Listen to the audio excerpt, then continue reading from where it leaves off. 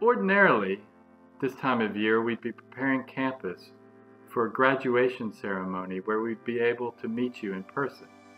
But unfortunately, with the pandemic, that's not possible. I'd like to take this opportunity, however, to celebrate your achievements so far.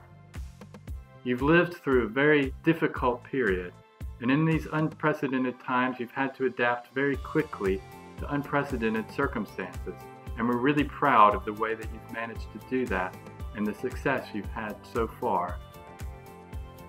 The students are the lifeblood of the school and the university. The hard work and dedication that you've demonstrated have really set you apart and make us proud that you represent Queen Mary in the wider world.